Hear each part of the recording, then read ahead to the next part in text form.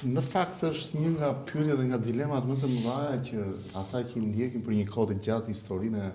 Ballkanit mundohen të shpjegojnë rolin që ka pas Perandoria Osmane në lidhje me popullsitë e tjera. Ndërkohë që grekët dhe serbët kishin në fakt të trashëguar një edhe bullgarët më vonë një shtet brenda shtetit, nëse mund ta quajmë, kishat e tyre kombëtare, të cilat kishin filluar si kisha të cilat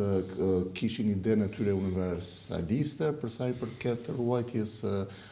besimit fetar, por që në shekullin e nëntëmbëdhjetë u infektuan të gjitha nga nacionalizmi, duke përfshirë edhe vetë dhe duke filluar dhe duke u rikthyer pak a shumë në kisha kombëtare, pra patriarkana greke me themelimin e shtetit kombëtar grek fillon e kthehet më tepër në një kishë greke, eksarkati bullgar në një mijë e tetëqind e shtatëdhjetë bëhet një kishë bullgare dhe po kështu dhe kisha serbe më herët bëhet. Ndërkohë që shqiptarët nuk kishin një organizëm, një organizim të tillë i cili do të bënte të mundur ruajtjen e disa vlerave kulturore dhe shpirtërore të tyre, zhvillimin e tyre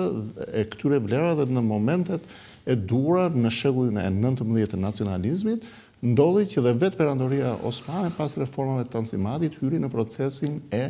nacionalizmit. Pra, atë që neve mbajmë sot mend nga marrëdhëniet shqiptaro-osmane është pikërisht shekulli i fundit ku osmanët kërkojnë të centralizojnë pushtetin duke u hequr liritë popujve të tjerë. Domethënë, për t'ia shpjeguar shikuesve të cilët e dinë historinë e Perandorisë Otomane, një histori lineare, Ishte momenti kur perandoria, ta zëmë nga ushtria, nuk kërkonte më kontributin e spahinjve të veçantë që shkonin me dyzet trima, por vendosi rekrutimin, pra ata nizamët e famshëm. Nizamët e famshëm me shtatë vjet të cilët shkonin në Jemen, çka do të thoshte që për shtatë vjet, I binte një në një një kohë shumë e gjatë dhe që E qartë. Pra, futi mobilizimin e detyrueshëm. Mobilizimin e detyrueshëm, taksimin e detyrueshëm. Gjuhën, gjuhën turke të detyrueshme në administratë. Pra,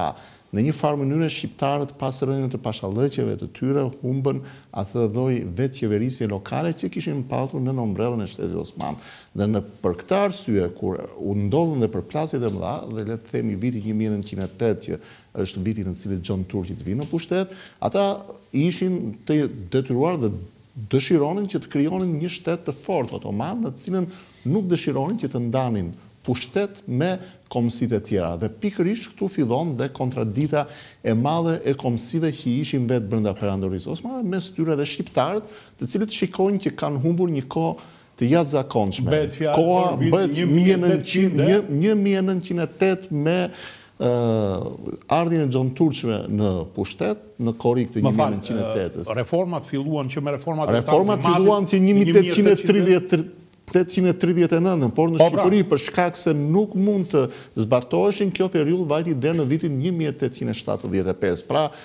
zbatoheshin dhe vendoseshin nëpër vende të ndryshme. Labëria, për shembull, bëri një kryengritje të madhe një mijë e tetëqind e tridhjetë e tre, një mijë e tetëqind e dyzet e shtatë,